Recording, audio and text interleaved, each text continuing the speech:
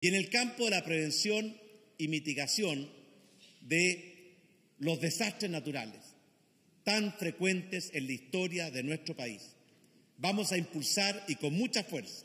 la promulgación e implementación del proyecto de ley que presentamos durante nuestro primer gobierno y que crea un nuevo Sistema Nacional de Emergencia y de Protección Civil y que reemplaza al actual ONEMI por la Agencia Nacional de Protección Civil.